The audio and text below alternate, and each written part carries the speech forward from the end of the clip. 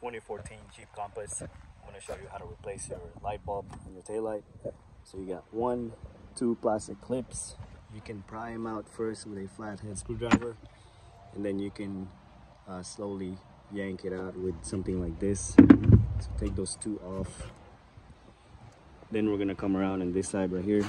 So you got two uh, uh, plastic, almost like a bracket that's like pushed in there. So you're gonna gently pry it out with a flathead screwdriver. If you have something like a plastic uh, pry tool, you can use that, or you can use a rag right here so you don't damage the paint.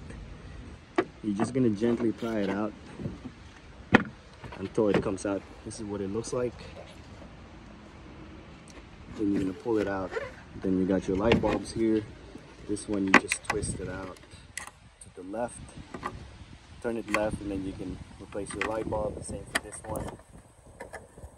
Then you can put everything back together. Pretty simple job. Anybody can do it. That's it. I hope this video helped you guys out. If you guys got any questions comment below. Click and subscribe button guys. Give me a thumbs up. And again thanks for watching